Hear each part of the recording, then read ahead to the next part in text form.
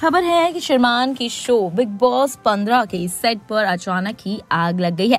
आग लगने के बाद मौके पर दमकल की चार गाड़ियाँ पहुँची। गनीमत है कि इस हादसे में कोई आहत नहीं हुआ। हालाँकि कभी आग लगने के कारणों के बारे में पता नहीं चल पाया है। बिग बॉस का सेट फ़िल्म सिटी मुंबई में है। कुछ दिन पहले ही बिग बॉस 15 का प्रीमियर हुआ था, जिसमें तेजस्वी प्रकाश विनर बनी थी। शो में एक्स कंटेस्टेंट्स के अलावा कई सेलिब्रिटीज और कंटेस्टेंट्स के परिवार वाले भी शामिल हुए थे।